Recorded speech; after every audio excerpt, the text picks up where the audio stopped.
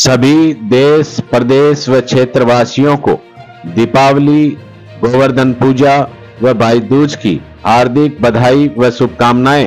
भागुराम आंवला, अध्यक्ष, Makrana RIICO area marble association की ओर से दीपावली, गोवर्धन पूजा व भाई दूज की हार्दिक बधाई व शुभकामनाएँ।